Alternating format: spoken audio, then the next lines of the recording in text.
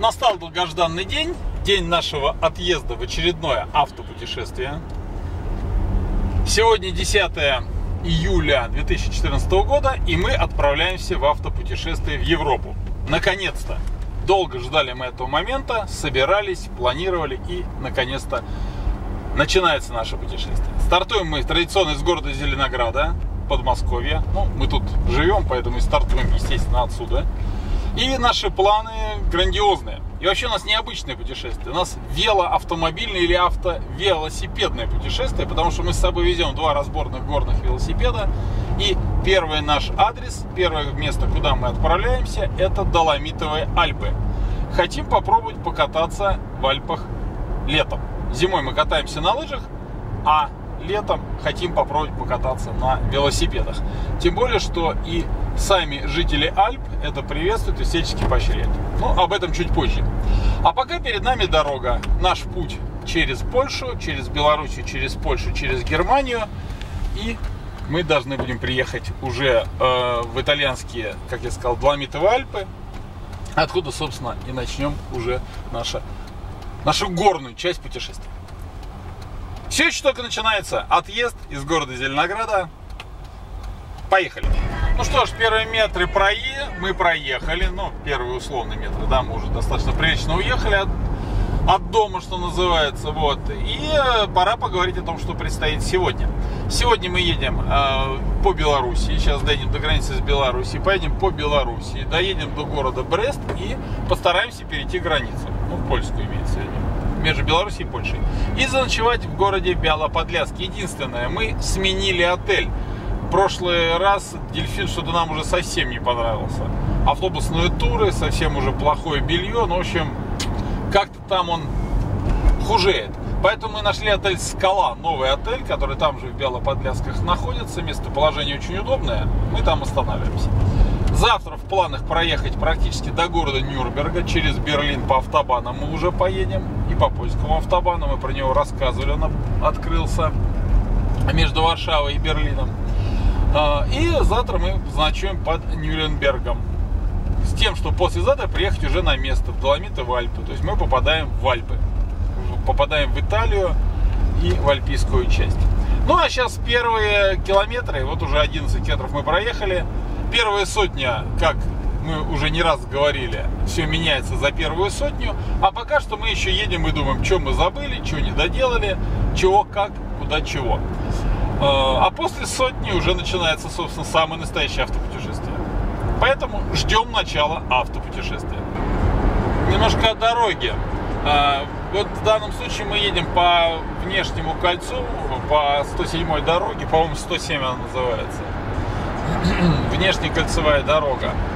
А, значит, ну, вот примерно ее состояние. Ее более-менее поддерживают в нормальном состоянии. Периодически меняет асфальт, разметку. Но все равно это двупутная дорога, и, в общем-то, скажем так, обочины не особо сильно развиты. Хотелось бы поширше, конечно, эту дорогу, поширше. Вот. Сейчас мы проедем через Звенигород и приедем на Минское шоссе. То есть мы едем не из Москвы, напомню, а из Зеленограда, поэтому пользуемся вот внешней кольцевой дорогой для того, чтобы с ленинградского направления, где находится наш город, попадать на направление в сторону Минска, на Минское шоссе и немножко вот по осмотримся по дорогам, которые на сегодняшний день мы будем проезжать. Это некий путь из Москвы в Брест, в Польшу. Сегодня у нас такие планы. Воочию видно состояние дороги. Идет реконструкция развязки с Рижским, э, с Рижским шоссе, с Новой Ригой. С Новорижским, да. Мы на кольцевой дороге, напоминаю. И вот сейчас мы тут элемент развязки будет видимо, создается элемент развязки. Вообще идут ремонты, если вы едете, например, в выходной день или в пятницу, надо быть готовым к большому количеству пробок по этой дороге. Вот. Потому что сама Новая Рига сейчас реконструируется вот с этого места и далее от Москвы, практически до Волоколамска.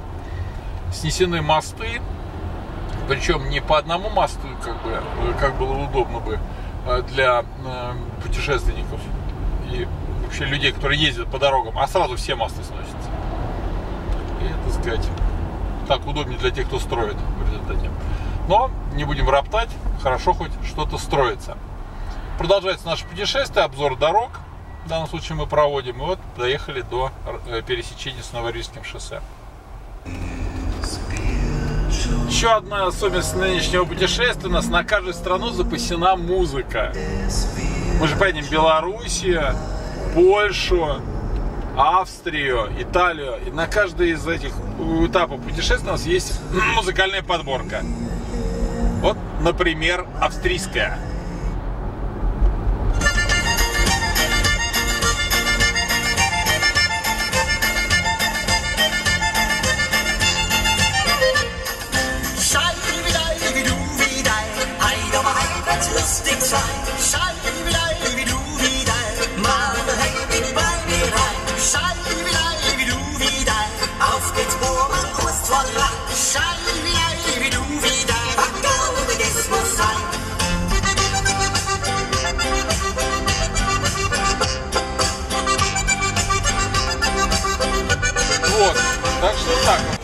Каждой стране еще будет и музыкальное сопровождение. Еще раз послушаем.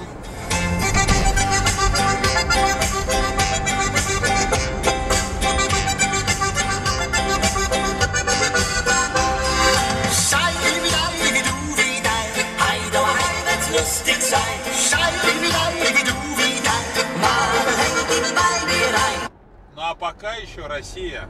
Серьезный, товарищи, надо, серьезней. В дальнейшем будем веселиться. Продолжается путешествие.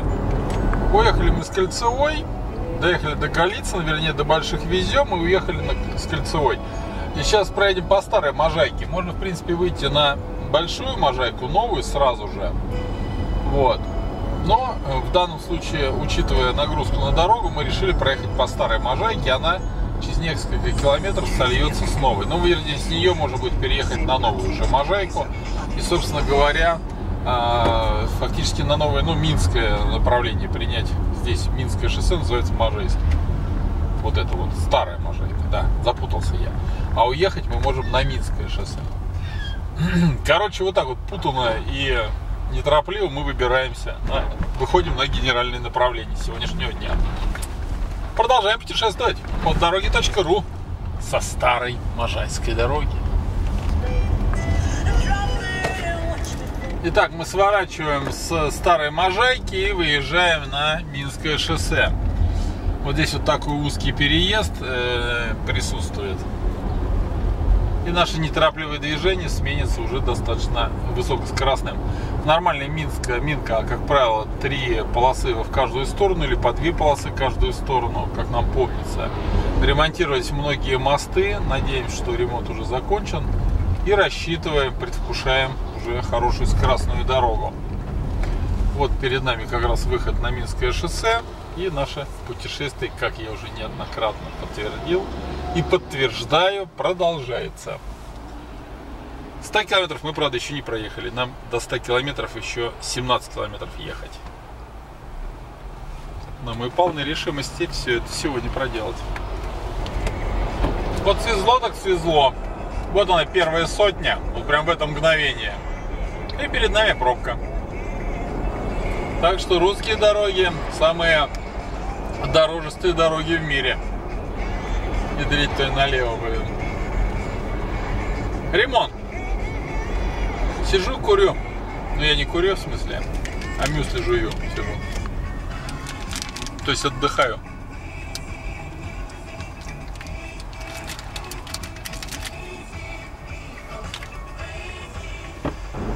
Ну 100 есть 100, я имею в виду километры, пока только километры, мы за рулем. Вот, и тем не менее путешествие уже теперь вступило в полную свою законную силу. Мы в режиме путешествия, и нас уже он предупреждает встречные машины, что где-то здесь засада ГАИ. Засада, одним словом. Но мы предупреждены, значит вооружены. И аккуратно вооруженные въезжаем в русский район.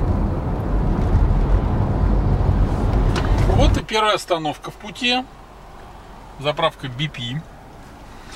Правда, в этот раз нам бензин не нужен, но, по крайней мере, кофе мы здесь выпили. Вообще приятно остановиться, зайти. Чистый туалет. Тут он грузовики. Водители грузовиков в душ ходят. Стиральные машины. Прекрасный опорный пункт по дороге. на дороге. Прообраз будущих наших автострад, удобных для путешествий и перемещений. Или перемещений грузов и путешествий господ отдыхающих. Огромное количество грузовиков. Вот водители первыми понимают, где удобнее остановиться. Здесь можно относительно безопасно переночевать, все-таки охрана есть. Здесь можно сходить в душ. Здесь же можно было приобрести грин-карту, вот мне подсказывают. Но мы, так сказать, заранее этим озаботились и приобрели заранее грин-карту. Но можно было и здесь ее приобрести.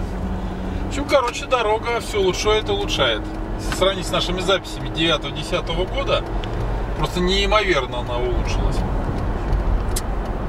Этапами, местами.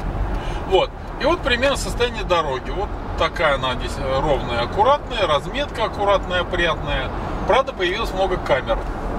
И надо, так сказать, следить за скоростным режимом. Но уж извините, если хотим ровно, аккуратно ездить, надо и правила соблюдать. Видите, машина сбрасывает скорость перед Мальцево. 60 не 60, а 70 где-то идет. Если что, камера не остановит. Да, муляжи полицейских по дороге стояли. И муляжи полицейских машин. Это вот особенность такая Смоленской области. Мы в Смоленской области, скоро город Смоленск.